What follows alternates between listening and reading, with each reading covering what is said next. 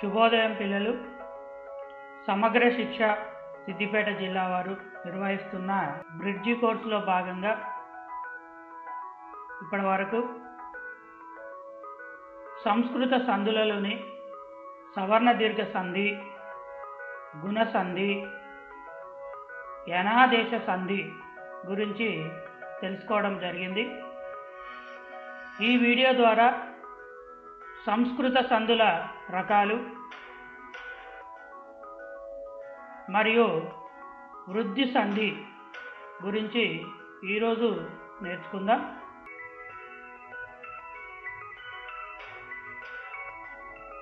సంస్కృత సంధులు సంస్కృత పదాలతో ఏర్పడేవి. ఇవి రెండు విధాలు. ఒకటి అచ్ సందులు రెండు హల్ సందులు.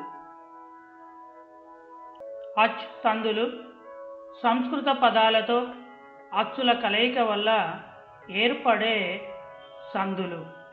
ఇవి ముఖ్యంగా నాలుగు విధాలు. సవర్ణ దీర్ఘ సంధి గుణసంధి యనాదేశ సంధి వృద్ధి సంధి. హల్ సందులు హల్లులతో ఏర్పడే సందులను హల్ సందులు అంటారు. ఇవి చాలా ఉన్నాయి. మన పాఠ్యాంశాలను అనుసరించి ముఖ్యమైనవి అనునాసిక విసర్గ రేపాగమ జస్త్వ ఛత్వ సందులు ముఖ్యమైనవి.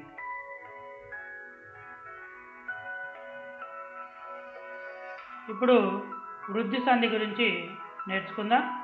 ముందుగా క్రింది పదాలను గమనించండి. లోకైక అనే పదాన్ని సంధి విభజన చేస్తే లోక ప్లస్ ఏక. ఇక్కడ సంధి కార్యాన్ని గమనించండి. లోక అనేటువంటి పదంలో పూర్వస్వరం ఆ ఏక అనేటువంటి పదంలోని పరస్పరం ఏ. ఆకి ఏ పరమైనప్పుడు ఐ ఆదేశం అవుతుంది మరొక పదాన్ని గమనించండి. దేశ ఐక్యత దీన్ని విభజన చేసి చూడండి. దేశ ప్లస్ ఐక్యత. ఇక్కడ సంధి కార్యాన్ని గమనించండి. ఆకు ఐ పరం అవుతుంది దేశ అనేటువంటి పదంలోని పూర్వస్వరం ఆ ఐక్యత పదంలోని పరస్వరం ఐ. ఆకు ఐ పరం కావడం ద్వారా ఐ ఆదేశంగా వస్తుంది. మరొక పదం మహౌగం. విభజన చేయండి. మహా ప్లస్ ఓగం. ఇక్కడ సంధికార్యాన్ని గమనించండి. ఆ ప్లస్ ఓ. ఆకు ఓ పరం కావడం వల్ల ఔ ఏకాదేశం అవుతుంది. మరొక పదం దివ్య ఔషధం. పదం విభజన చూడండి. దివ్య ప్లస్ ఔషధం. సంధి కార్యాన్ని గమనించండి.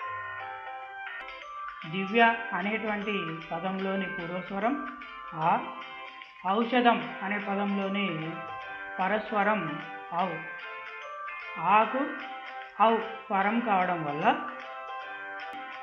ఔకారము ఏకాదేశం అవుతుంది. పైన ఇచ్చిన పదాలను విడదీసినప్పుడు మీరు గమనించిన విషయాలు సరిచూడండి. ఈ సంధి ఏర్పడేటప్పుడు ప్రతిసారి పూర్వస్వరంగా ఆ ఆ ఒకటి వచ్చింది. పరస్వరం స్థానంలో వరుసగా ఏ ఐ ఓ అవులు ఉన్నాయి. అకారానికి ఏ ఐలు కలిసినప్పుడు ఐ వచ్చింది. అకారానికి ఓ హౌలు కలిసినప్పుడు ఔ వచ్చింది. అంటే అకారానికి ఏ ఐలు పరమైతే ఐ వస్తుంది? అకారానికి ఓ హౌలు పరమైతే హౌ వస్తుంది.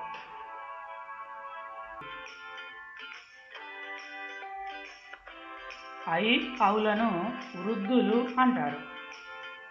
సంస్కృతంలో ఐ అవులను వృద్ధులని పిలుస్తారు. వృద్ధుల వల్ల ఏర్పడిన సంధి కనుక ఇది వృద్ధి సంధి. ఎందుకంటే అకారానికి ఏ ఐలు పరమైతే ఐకారము అకారానికి ఓ అవులు పరమైతే ఔకారము వస్తుంది.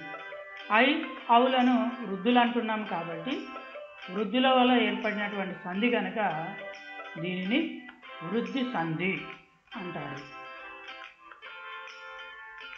సంధి సూత్రాన్ని చూడండి. అకారానికి అంటే అకారం అంటే ఆ ఆ. ఈ రెండిట్లో ఏదో ఒకదానికి. ఏ ఐలు పరమైతే ఐకారము ఓ ఔలు పరమైతే ఔకారము ఏకాదేశంగా వస్తాయి. ఇది వృద్ధి సంధి సూత్రం. కొన్ని పదాలను విడదీయండి ఇక్కడ. భువనైక అనే పదాన్ని విడదీద్దాం. భువన ప్లస్ ఏక. సో సంధికార్యాన్ని కూడా గమనించండి. ఆకు ఏ పరం కావడం జరుగుతుంది ఇక్కడ. ఏమొస్తుంది? ఐకారము వస్తుంది. అష్టైశ్వర్యము. దీన్ని విభజన చేయండి. అష్ట ప్లస్ ఐశ్వర్యం. ఇక్కడ కూడా సంధికార్యాన్ని గమనించండి. అకారానికి ఐ పరం అవుతుంది. అకారానికి ఐ పరం కావడం వల్ల ఏమొస్తుంది ఇక్కడ? ఏకాదేశంగా ఐ ఏకాదేశం అవుతుంది. పాప ఉగం దీని విభజన చేద్దాం. పాప ప్లస్ ఓగం సంధికార్యాన్ని గమనించండి. అకారానికి ఓ పరం అవుతుంది అకారానికి ఓ పరం కావడం వల్ల ఔ ఏకాదేశం అవుతుంది. రసౌచిత్యాన్ని విభజిస్తే రస ప్లస్ ఔచిత్యం. ఇక్కడ సంధికార్యాన్ని గమనించండి.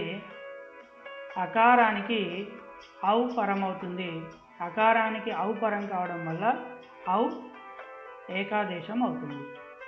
గమనించారు కదా ఇక్కడ? పూర్వస్వరంలో అకారం అనేటువంటిది ఉంది. పరస్వరంలో ఏ ఐ ఓ ఔలు పరమవుతున్నాయి. అకారానికి ఏ ఐలు? ఏ ఐలు పరమైనప్పుడు ఐకారము ఓ ఔలు పరమైనప్పుడు ఔకారము వస్తుంది. మరికొన్ని పదాలు చూద్దాం. వసుధ ప్లస్ ఏక. దీన్ని కలిపితే సంధిపదం ఏమర్పు ఏం ఏర్పడుతుంది వసుదైక. వసుధ ప్లస్ ఏక వసుదైక. సంధికార్యాన్ని చూడండి.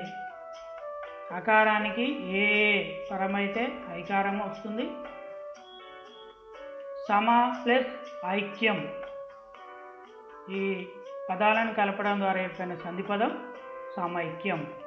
ఇక్కడ సంధికార్యాన్ని చూడండి. అకారానికి ఐపరం అవుతుంది ఐకారం వచ్చింది. వన ప్లస్ ఓషధి. ఈ రెండు పదాలను కలిపితే వనౌషధి అనే పదం ఏర్పడింది. సో చూడండి. సంధికార్యం అకారానికి ఓ పరం అవుతుంది ఔకారము ఏకాదేశం అవుతుంది. పరమ ప్లస్ ఔషధం. ఈ రెండు పదాలను కలిపితే పరమ ఔషధం అనే సంధి పదం ఏర్పడింది. సంధికార్యాన్ని గమనించండి. అకారానికి ఔపరం కావడం వల్ల ఔకారం ఏకాదేశం అవుతుంది. పై ఉదాహరణలు గమనించినట్లయితే అకారమునకు ఏలు పరమైనప్పుడు ఐకారము ఓవులు పరమైనప్పుడు అవకారము ఏకాదేశం అగును ఇది వృద్ధి సంధి యొక్క సూత్రం. మరొకసారి చూడండి. అకారమునకు ఏ ఐలు పరమైనప్పుడు ఐకారం ఓ ఔలు పరమైనప్పుడు ఔకారం ఏకాదేశం అగును. పిల్లలు అర్థమైంది కదా? వృద్ధి సంధి గురించి తెలుసుకున్నారు కదా? ఇప్పుడు మూల్యాంకనంలోని ప్రశ్నకు సమాధానం మీ నోట్బుక్లో రాయండి. వృద్ధి సంధి సూత్రాన్ని తెలిపి కొన్ని ఉదాహరణలు రాయండి.